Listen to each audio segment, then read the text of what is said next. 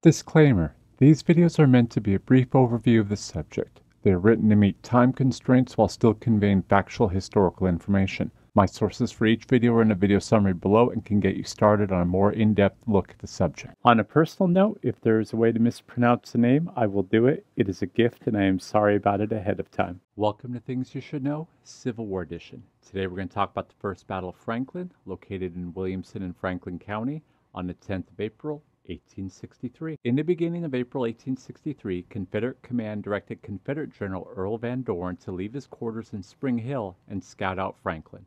The purpose was to determine if the Union forces had recaptured Franklin since the last battle. During this scouting operation, Confederate General Forrest's command was traveling along the Lewisburg Turnpike when they encountered Union pickets on April 10th. Confederate Colonel James Wellborn Starnes, in charge of the 1st Cavalry Brigade of the 4th Tennessee Cavalry, was blindsided by the Union cavalry attacking his flanks and watched as Union Brigadier General David S. Stanley's brigade seemed to appear out of nowhere. What none of the Confederates had known was that Union General Stanley had traveled across the Big Harpeth River at Hughes Ford behind Confederate forces. While the Confederates were moving forward, Stanley and his men of the 4th U.S. Cavalry captured Confederate Captain Samuel L. Freeman and his Tennessee artillery. Seeing the situation unfold, the Confederates quickly turned and attacked the Union cavalry attempting to dislodge the Union forces from the site of the Tennessee artillery.